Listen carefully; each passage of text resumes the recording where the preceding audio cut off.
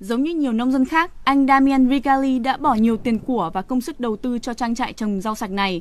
Thế nhưng gần đây anh phát hiện khi bán ra thị trường, rau của anh bị lẫn với những sản phẩm kém chất lượng khác, có giá rẻ hơn, khiến lượng tiêu thụ giảm đi. Chính vấn đề nhức nhối này thôi thúc anh thiết kế ra một quy trình đóng gói riêng, đó là chiếc hộp màu đỏ này với tên thương hiệu của cơ sở. Bạn phải tạo sự khác biệt cho sản phẩm của mình để tăng tính cạnh tranh và cách duy nhất chúng ta có thể làm được là xây dựng thương hiệu cho sản phẩm của mình. Sản phẩm của anh giờ đã tạo dựng được uy tín và được các nhà bán buôn ưa chuộng hơn cả.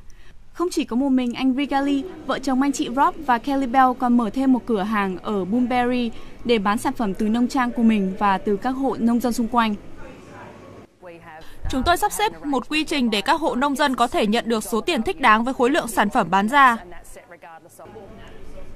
Giám đốc marketing ông Scott Robinson cho biết, việc nhiều nhà nông nâng cao năng lực cạnh tranh của mình bằng thương hiệu là một điều đáng khuyến khích. Bạn sẽ thu về nhiều lợi nhuận hơn khi tạo dựng nên một thương hiệu riêng cho các mặt hàng của mình.